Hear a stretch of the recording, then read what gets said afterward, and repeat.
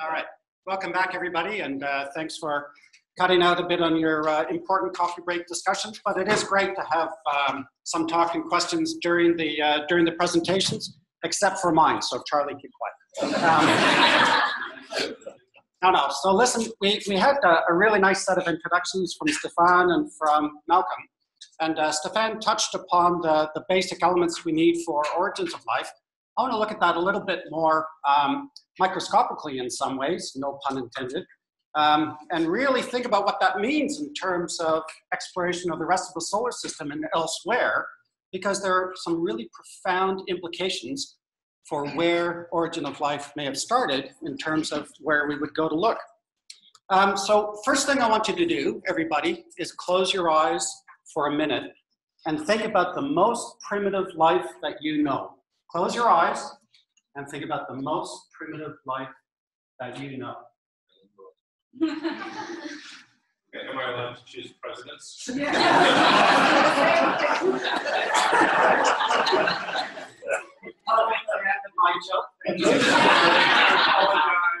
so it could be President Trump. It could be your, you know, office neighbor who's sitting beside you and whistles all day at work, like I used to do. Um, it could be, you know, your schoolhood uh, neighborhood friend who used to annoy you. But probably with the introduction we've had, most of you would have thought of a microbe. And uh, if we think about the microbes, we would think also, if we went really primitive, down to archaea. Simple, microscopic, single-celled organisms. And if we were thinking about the origin of life, that's what we want to create, right? But the thing to remember is that even the most primitive microbe is already an incredibly complex city-state, if you, if you like, or if you think about something like a superorganism, it's already a highly structured physical, mechanical life machine. It has, you know, these triple membranes that incorporate a cytoplasm whose composition is different from its exterior. It has exchange pumps that are across this membrane. It has organelles internally. It has, of course, this complex DNA. It's got all kinds of operations that help this to make this chemical reaction form life. So if we think about exploring for life elsewhere, of course this is what we think about, but more importantly is how do we get to that state? And so there are two really big questions. Stefan touched about that. How did life get started? But from my context as a geologist, like Malcolm said, it's also where did life get started? What environment, what habitat helped this kind of complex uh, material get organ, organized. So, well, we're not even going to go there. So, well, you said most primitive. I was thinking viruses, but you don't like viruses.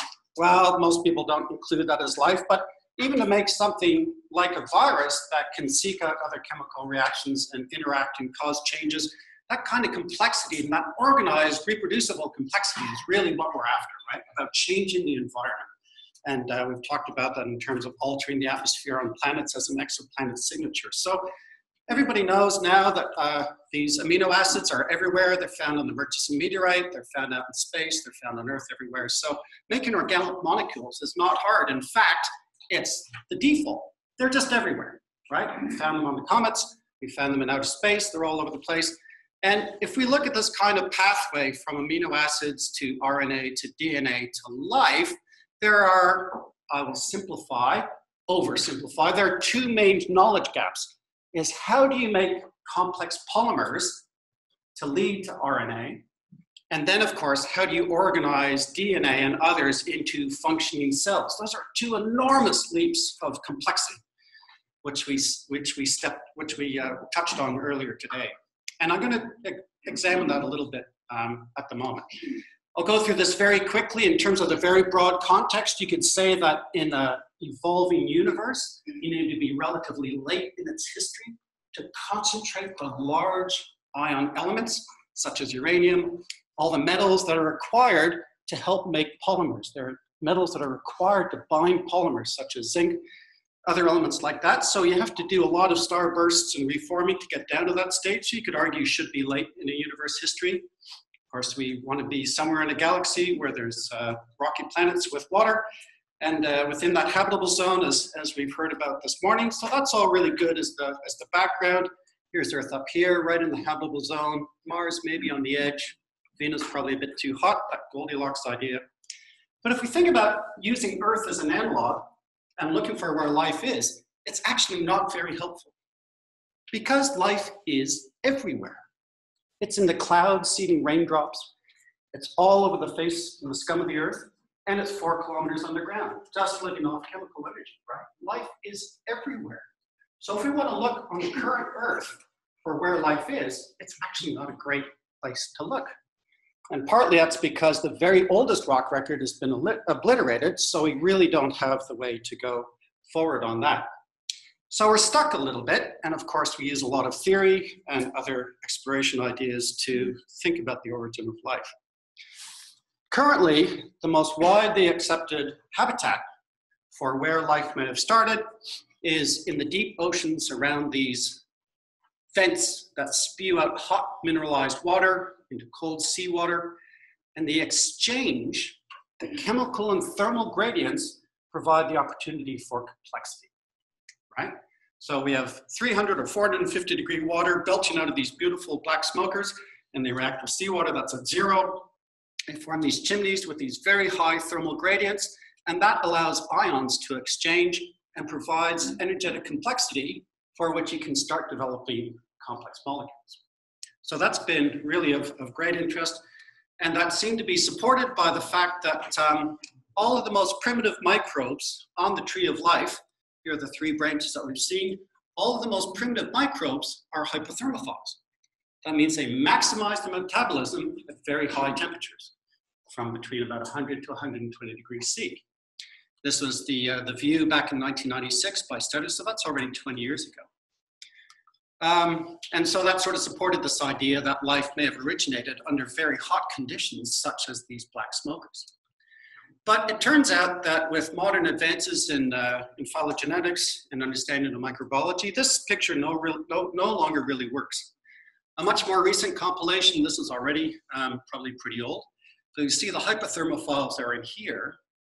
And in fact, the most primitive organisms closer to LUCA are in fact mesothermophiles. They maximize their metabolisms at moderate temperatures, characteristic of environments different from those black smokers. So this becomes a problem with thinking about black smokers, and so the community said, okay, we'll go off axis and we'll go to white smokers. Lower temperature, chemistry is different, but they still have the potential for making these complex water rock interactions and making very complex sort of iron sulfide, nickel sulfide boxes, these cage networks that are interesting in terms of forming sort of a structure for cells and also complex chemistry with lots of free hydrogen, lots of ions floating around, and still a temperature gradient here. So that's now currently the most favorite model. So a bit of a shifting paradigm, but there's problems with this as well. And really, it's an extremely fundamental problem that people have known about already for more than 30 years. And that's called the water problem. NASA's roadmap for astrobiology is follow the water. That's for living life. But for prebiotic chemistry, there's an enormous problem. And that problem is summarized here in this uh, slide from Nick Hud at Georgia Tech. All the reactions that go to make amino acids bind together into dipeptides and proteins, sugars going to disaccharides and carbohydrates, nucleic acids to make RNA and DNA, they all need to kick out water. They're all dehydration reactions. It's the energy of dehydration that bonds the simple organic molecules together. They will dissolve in the presence of water. So the oceans are out for the origins of life. You cannot do it. And there have been, you know, big groups that are doing experiments in the lab of these deep sea black smokers, and they cannot make organic polymers. So life, forget about that. Prebiotic chemistry is the key to understanding the habitats required to generate the complexity to then organize and make life. This was known, as I said, already back in 82. Water may be essential for life, but this person, Karen Smith, noted that all the major biopolymers are metastable in aqueous solution. Oh dear. like, hello, we knew that since 1982. Colleague of mine, Dave Deamer, scientist at Santa Barbara, he's shown that you can heat a solution of amino acids and water forever, but no polymers will be produced. On the other hand, synthesis can occur if the amino acids are in a dry state. The source of that energy is that water molecules have the potential to leave the system, right? Oh my God, why haven't we followed this up? And where are we? The other really important thing to consider is that prebiotic chemistry needs more than just oxygen, hydrogen, phosphorus, and um, carbon. There are a lot of different, very specific elements. One of the keys there is that the cytoplasm of all modern cells across all three branches of life have a very unique um, ratio of potassium over sodium. And that ratio is not the ratio in seawater. It's the ratio in fresh water. So if you think about where am I going to go to do my shopping cart for all the components I need, right? The oceans, if it's a deep sea black smoker, should have this kind of oceanic ratio. It doesn't. So freshwater does. That's interesting.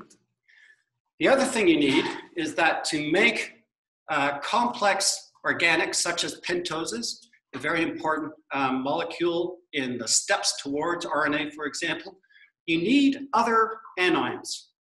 And in fact, it turns out that no other mineral is as satisfactory as borate. Now, borate's a mineral, but it's got boron to stabilize pentatoses across this critical range as pH drops. There's two really important things here. You've got to concentrate ions other than just carbon, oxygen, phosphorus, and you need to have it across a range of pH. Oceans also cannot do that because they are big, homogeneous reservoirs. So even if you have temperature gradients, you do not get that range of pH. This again has been known for a long time. The other thing that's really exciting in this field is that this is Dave Deamer again. He's here with a, a little um, organic soup and he's pouring it into an active hot spring on land. Now, this is done in Kamchatka where they don't worry about environmental interference so much. But the amazing thing about his experiment was that those organics all migrated to the edge of the pool. And if you think about hot spring pools, they surge, the edges wet and dry. There are geysers that cause fluctuations in water level, causing wetting and dry. But in his experiment, he showed that his lipid organic soup naturally formed vesicles about the same size as cell structures, making bilipid membranes. And they actually have the ability to concentrate the organics that are in his soup. Furthermore, what they found is that when those pools dried out, those lipids opened up and flattened out. The dehydration of the pool caused concentration of amino acids into complex biopolymers. And on re-wetting, those biolipid vesicles reformed around more concentrated, more complex organics. Oh my God, too, right? That is an unbelievable discovery and is leading many people to suggest that prebiotic chemistry had to occur on land, not in the oceans. Guess who thought of that a long time ago? It's a fellow called Charles Darwin, who in a letter 145 years ago, his good mate Charles Hooker said um, to, uh, to Joseph Hooker, said, but if, and this is probably one of the most famous quotes in science, and what a big if, we could conceive in some warm little pond with all sorts of ammonia and phosphoric salts, light, etc., that some protein compound was chemically formed, ready to undergo still more complex changes. So in this micro, in this prebiotic chemical world, he'd already thought of Darwinian evolution, right? And he'd thought of some warm little pond on the surface of the land.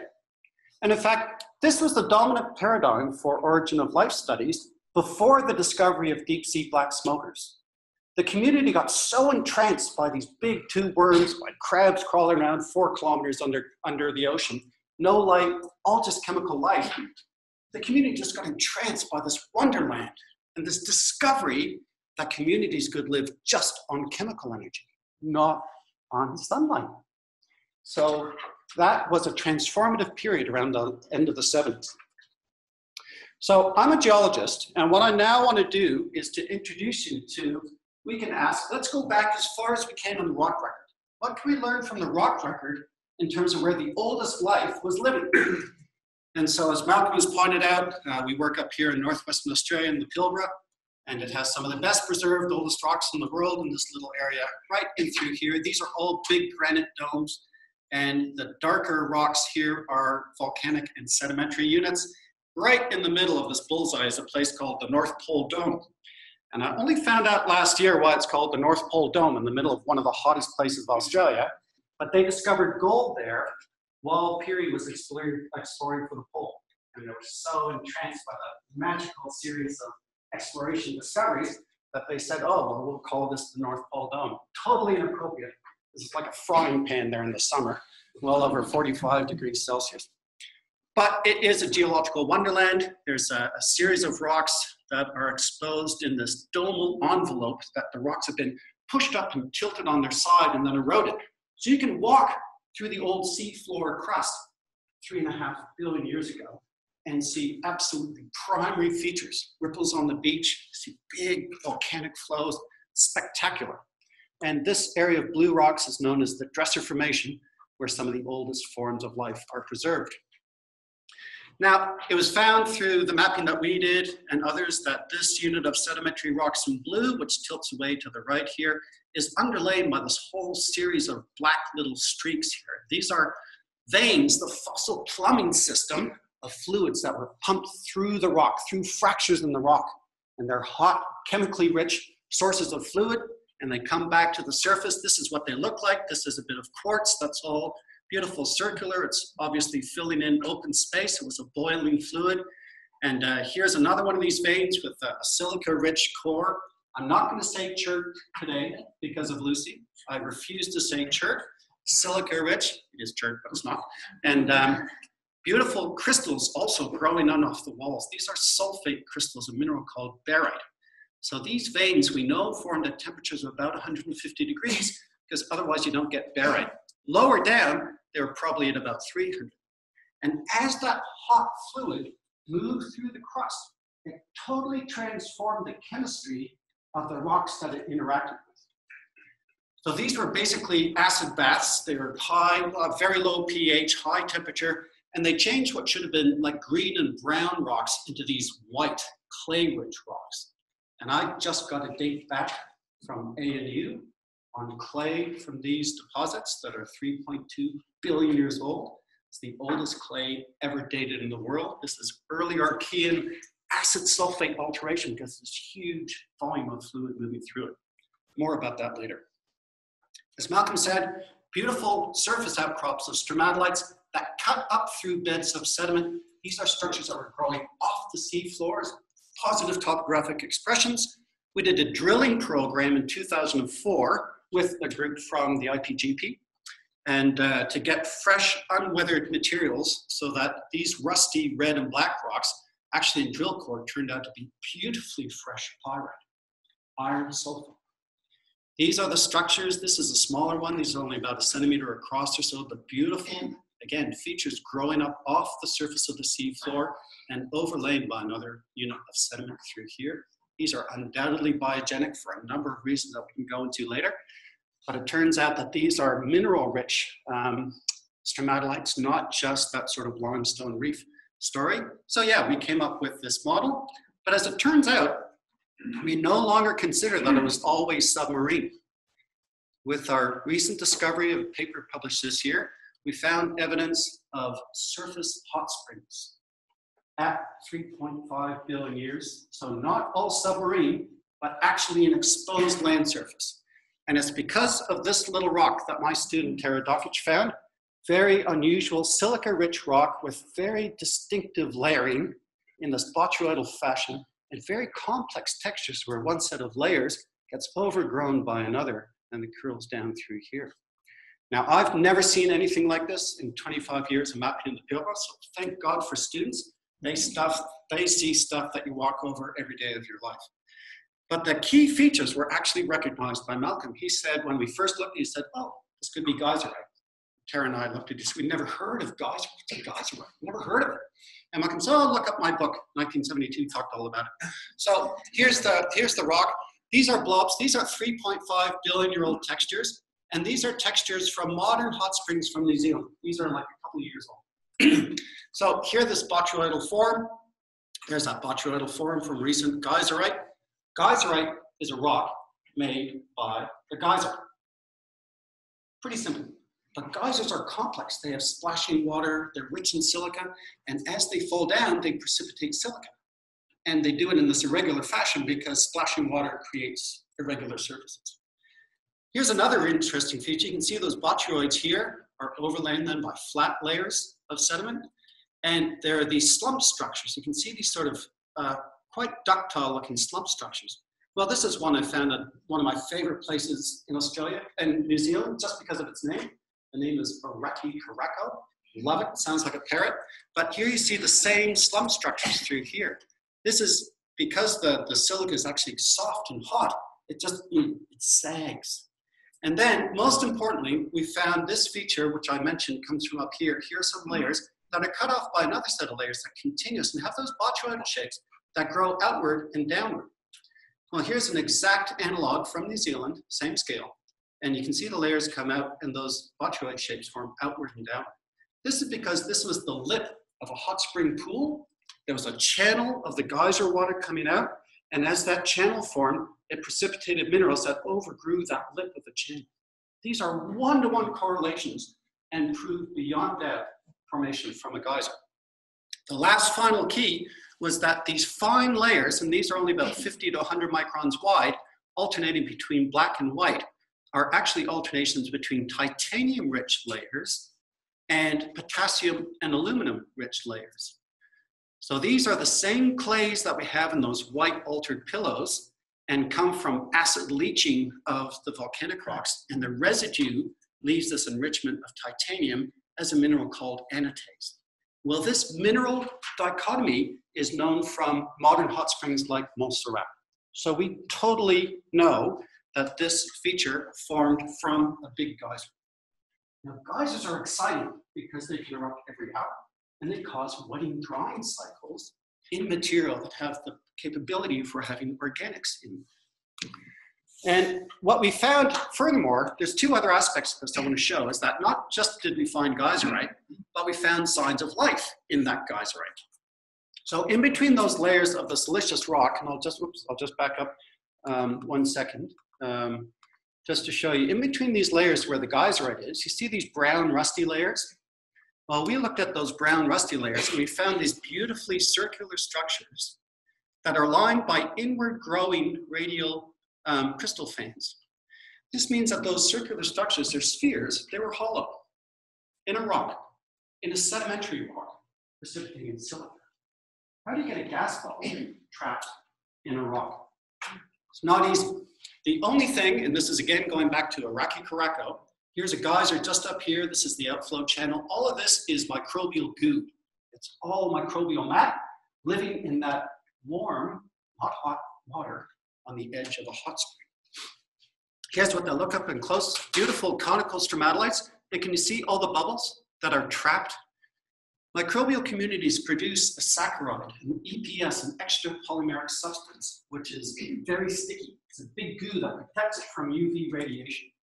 And in that EPS, you can see it traps all these bubbles. Those bubbles are actually caused by metabolizing cyanobacteria. They're making oxygen, but it gets stuck in the EPS and it gets trapped. So actually, those bubbles in that 3.5 geyserite are relics of EPS trapping gases and is a biosignature. Oh my God, number three, right? Fantastic. We also found, here's a little stromatolite. Uh, it's about three centimeters across, a very peculiar layer underneath that has vertical fabric, like a set of candelabra. Can you see how they're all branching upwards? So this is not a feature that happens in sedimentary rocks. This is probably a hallmark of biology. So we went to investigate that further. We went on the nuclear reactor and did a, an analysis with uh, neutron beams to see if there were sort of, you know, these um, regular sort of mineralizing features or if it was more complex. And this is what it looks like in 3D. They're bridging structures, they're little bulbs, you can see branches. This is clearly the complexity hallmark of life in hot springs. So we have life in hot springs, and this is totally hot off the presses from a colleague of mine I'm working with in Western Australia. Remember those pyritic stromatolites? This guy's a total genius. He's done um, some acidic etching of the pyrite, and he's found entombed in them microfossils. These are carbonaceous spheres caught in the act of splitting three and a half billion years ago. These are the oldest bona fide microfossils in the world, two weeks old, just for you. And so there they are splitting, right? And we also found these twisted strands of carbonaceous material. These are EPS strands preserved all in the pyrite. It's just so thrilling. Anyway, so, um, but the, the other main component of this hot spring story is that whole idea about the extra chemistry you do, right? So I got the organics, we got the wetting, drying, but what about the chemistry? What about boron and other things? Well, amazingly enough, in some rather unexciting looking rocks that have some little rusty layers. He said, oh, these look like stromatolites. Let's take a look. Here's what they look like in thin section. It's just a millimeter here. Can you see all these little crystals? These all these little green crystals are packed in this one layer of these rusty, and it is actually overlain by broken up geyserite here. So we know we're in the hot spring environment, right? Well, it turns out that those crystals are all of a mineral called tourmaline, which is rich in boron. And if we look at the boron, its isotopic composition is down here of non-marine water. Seawater is up here. So this is clearly, again, on land, fresh water with life. So we've got boron, but it gets better. We know that there are modern hot springs. This is from Ladakh in India. This is the hot spring that's actually, all the vapor has been crystallized by ice because it's so cold, but there's the outflow vapor. It's called boratic center. It's rich in boron. These radiogenic elements get concentrated by the hot water. And then when we look at those pyritic stromatolites in detail, here's what they look like under um, scanning electron microscopy that we can analyze. There are also laminae that are enriched in zinc. Zinc's another one of these key elements for prebiotic chemistry. So there was zinc in the system. And we also know that nearby there are these unusual layered carbonate chert rocks and they have very distinctive, unusual kind of flocculated gradations from carbonate to chert, carbonate to chert. These are clearly evaporative couplets from a changing lacustrine environment. But the unusual thing is that the, uh, the carbonate has up to 34% of a mineral called kutnohorite, which is rich in manganese. Manganese is another one of these critical prebiotic elements. So we have started to find that we can recreate an environment at 3.5 billion years ago that not only has life in hot springs, but has all the chemistry that we need, including zinc and manganese and wet dry cycles. This has got it. In fact, it's better because it's got a lot more complexity. Could this be a guide to the origin of life from three and a half billion years ago? Now, the exciting thing about hot springs is you can have within 100 meters extreme chemical diversity because hot springs don't just occur as one pool, they occur in fields of hundreds of pools. This is an example from New Zealand. Here's Lake Taupo. All of these little black things are hot spring fields. It's in a rift setting. But here you can see a pH of two. This is highly acidic. And this is neutral. You can cook your fish in that one. That's Champagne Pool. Anybody been there? Champagne Pool? Beautiful, right? Unbelievable opportunity for chemical and energetic diversity. And I love this diagram. This came from Rachel Whitaker in a talk she gave at, us at AbSciCon a few years ago. But in biology, you have this idea of isolated populations. And if they're able to mix and match their components, they evolve into driving innovation pools that allow for greater fitness. And so there's this beautiful net showing that you can get increased complexity when you mix and match components from these different pools. So what I get really excited about is the idea if I've got a pH 2 pool, I've got a pH 11 pool, I've got a pH neutral pool, they have geysers, they have subterranean networks that are linked and they splash and mix materials. Talk about complexity.